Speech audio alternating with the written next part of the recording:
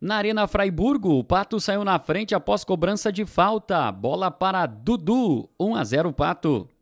Depois, grande jogada de Neguinho, deixando o marcador no chão e passe para Everton, 2 a 0. Ainda teve tempo de Joy encontrar Everton para fazer o segundo dele e terceiro do Pato no primeiro tempo. Na volta do intervalo, Tom se livrou de três marcadores e encontrou Joey para empurrar para as redes 4 a 0. Mais uma falta para o Pato e Neguinho rolou para Joey fazer o quinto.